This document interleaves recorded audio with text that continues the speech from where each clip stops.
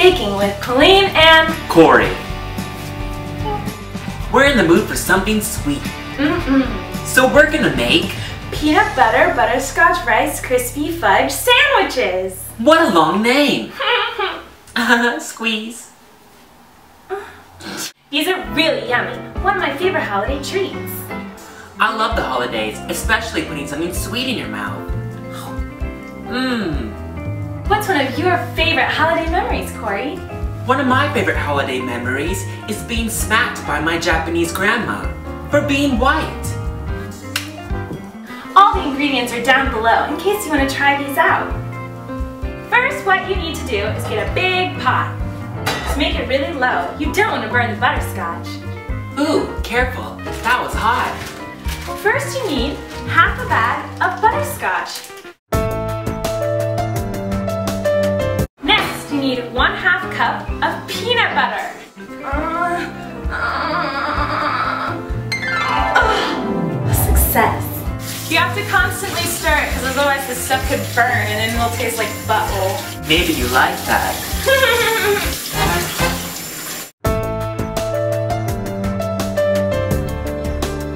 stirring the pot, stirring the pot. After it's all melted, you dump in four cups of Rice Krispie cereals.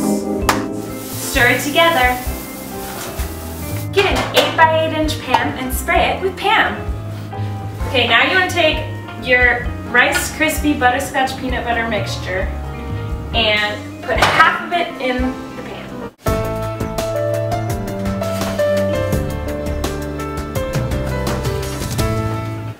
Get some parchment paper or wax paper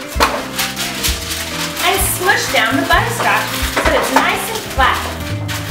To make sure it's nice and even. So it'll look like this. And then you put it in the fridge to chill while you're making the fudge center.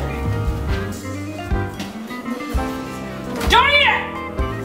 I didn't do- You can lick the wax paper. You just got so horrified. I thought you were gonna put. you. I thought you. Your Asian grandmother did beat you. so put it on a low heat. You want half a bag semi-sweet chocolate chips. so about six ounces. Two tablespoons of butter. Does it have to be salted? Doesn't matter. Uh. and a half a cup powdered sugar. and one tablespoon water. I got the tablespoon.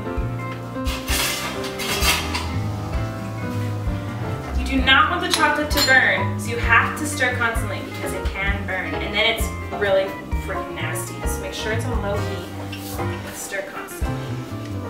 Okie dokie. So now you have a chocolate mixture. You're gonna put the chocolate mixture on top of your already chilled base. Make sure it's evenly distributed across all of your butterscotch morsels. So now it should look like this.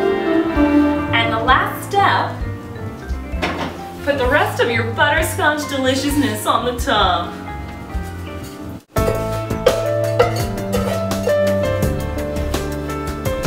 Make a spoon.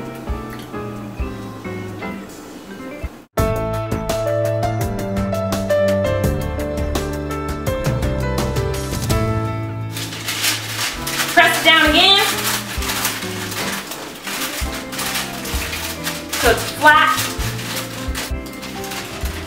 Now you put this in the fridge, let it chill for like an hour or so, and then you cut them up and eat them. We're all done. We cut it into little squares. So now we chomp it down. This is what they look like, little fudge sandwiches.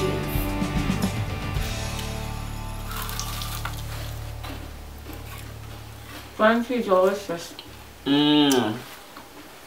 Send us your videos of you guys making these. And your pictures. Merry Christmas. There's toilet paper on the ground. Typical.